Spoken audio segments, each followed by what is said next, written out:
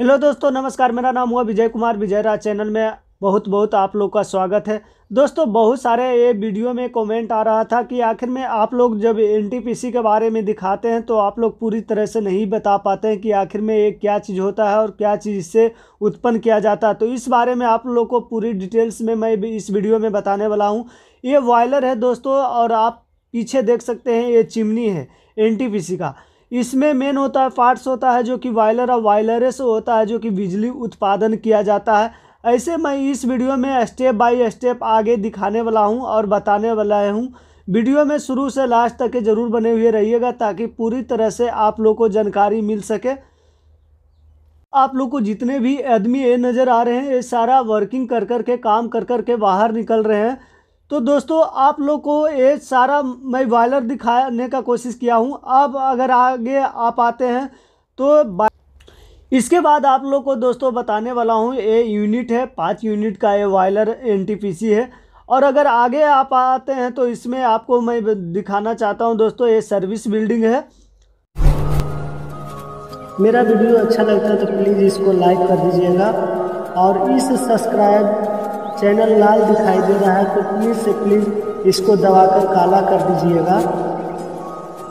और यहाँ से इस घंटी पर क्लिक करके ऑल पर जैसे ही आप क्लिक करते हैं तो आपको अच्छे इस जगह जो अगर बात किया जाए दोस्तों तो ये आप लोग देख सकते हैं गाड़ी का पार्किंग किया जाता है। और आगे मैं इस वीडियो में आप लोग को और बताने वाला, दिखाने वाला हूँ। ये दोस्तों, आप लोग देख रहे हैं, वायलर का मेन पार्ट्स जो कि कंट्रोल रूम का थी होता है। और इसी में है जो कि मेन टरबाइन और सारा पार्ट्स इसी जगह लगा हुआ रहता है, जो कि आपको 20 फीट ऊंचाई पे जो कि है बना हुआ है।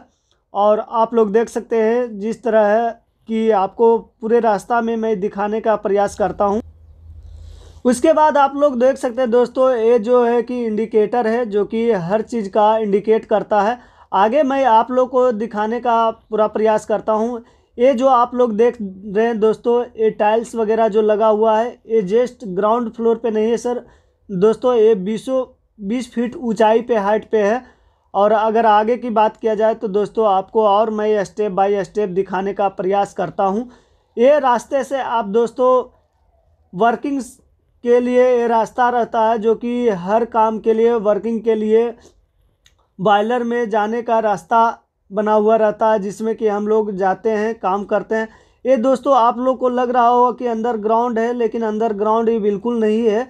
ये रास्ता है जो कि अंडरग्राउंड ही जैसा बना हुआ है, जो कि जाने आने का मेन रास्ता हम लोग का माना रहता है। इसमें कि बॉयलर से लेके पूरे कंट्रोल रूम तक के ये रास्ता ले जाती है। और अगर आगे की बात किया जाए दोस्तों तो आप लोग को मैं और स्टेप बाय स्टेप दिखाने और बताने का पूरी तरह से प्रयास करता हूँ। ये जो कि देखने में इतना सुंदर लगता है कि आप लोग देख सकते हैं कि देखते ही लगता है कि स्वर्ग है। आप आगे दिखाने का प्रयास करता हूँ दोस्तों, ये है जो कि कंट्रोल रूम है। इसी में जो कि सारा कंट्रोल यूनिट का होता है, सभी वायलर का होता है। तो ये है जो कंट्रोल रूम है एनटीपीसी का, आप लोग देख सकते हैं कि यहाँ पे सारा डिस्प्ले लगा हुआ है। इसी जगह से है जो कि पूरा वायलर का यूनिट का कंट्रोल किया जाता है। ज़्यादा करके ये तो चार पाँच का यूनिट का होता है इस जगह। बाकी इसके बाद आपको दोस्तों दिखाने का प्रयास करता हूँ। ये कूलिंग टावर है जो कि पानी वाटर जो होता है, उसको फ़िल्टर करके वायलर में भेजा जाता है। इसी जगह झरने द्वारा आप लोग देख सकते हैं रिमझिम रिमझिम जैसी बारिश होती है, उस तरीके से आपको नज़र आता होगा। बारिश की तरह गिरते रहता है और इसी जगह से फ़िल्टर होके वायलर तरफ़ जाता है। और आप लोग का ये सस्पिशन होगा दोस्तों कि आखिर में ये वाटर है जो कि पानी कैसे जाता है? तो आप लोग को ये बताना चाहता हूँ दोस्तों कि इसका है जो पाइप द्वारा, अंदर ग्राउंड द्वारा जाता है। उसके बाद आपको देख सकते हैं दोस्तों जो पीने वाला पानी रहता है या चाहे केमिस्ट्री में जो पानी फ़िल्टर होता है इस तरीके से फ़िल्टर करके नीचे ग्राउंड में जाता है दोस्तों। उसके बाद ये आपको हिस्ट्री केमिस्ट्री दिखाने का प्रयास करता हूँ। इसी जगह है जो कि वा, वाटर या दोस्तों ये है जो कि केमिस्ट्री है लाइब्रेरी इसी जगह रहता है दोस्तों जो कि हर पानी को फ़िल्टर करके टेस्ट किया जाता है और हर चीज़ होता है वाइल तक के होता है।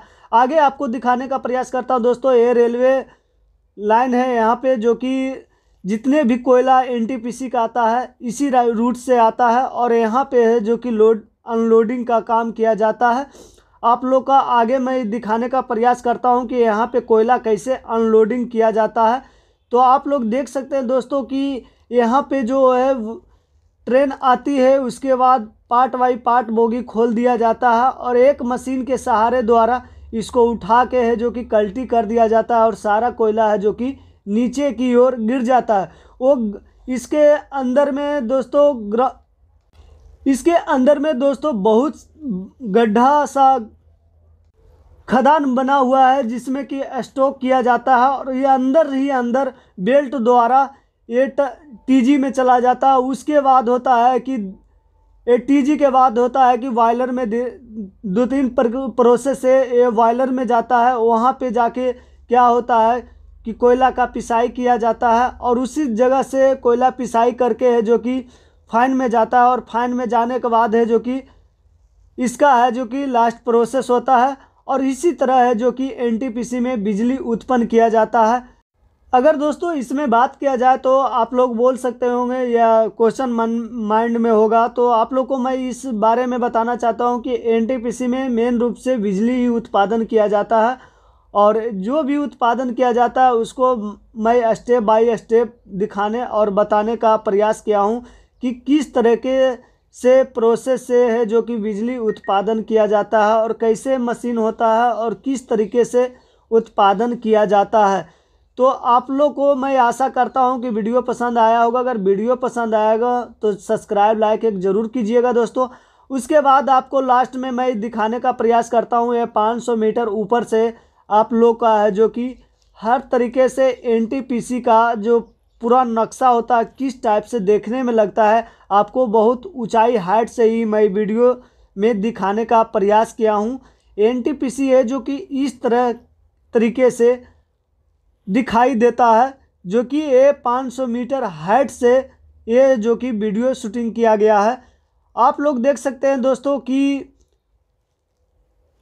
तरीके से ऊपर से देखने में कैसा लगता है तो आपको मैं ग्राउंड से लेके 500 मीटर हाइट तक का दिखाने का पूरा प्रयास किया हूँ। दोस्तों, मैं मैं दोस्तों, इस वीडियो को बनाने के लिए आप लोग का बहुत सारा कमेंट आ रहा था, इसीलिए मैं इसको पूरी तरह से समझाने और प्रया, बताने का प्रयास किया हूँ, जिसमें कि काफ़ी मुझे वक्त लग गया आप लोग को कमेंट का जवाब देने में। इसलिए आप लोग से तय दिल से सॉरी कहना चाहता हूँ। अगर वीडियो पसंद आता है दोस्तों तो सब्सक्राइब लाइक ज़रूर कीजिएगा, ताकि बहुत मेहनत के साथ आप लोग के साथ वीडियो लाने का पूरी तरह से प्रयास अगर दोस्तों मन में कोई और क्वेश्चन है तो कमेंट ज़रूर करें, इसका ज़रूर रिप्लाई मैं दूँगा। और दोस्तों अपना भर पूरी प्रयास से आप लोग को बताने का, समझाने का। दोस्तों अगर वीडियो पसंद आया होगा तो सब्सक्राइब लाइक एक ज़रूर करें।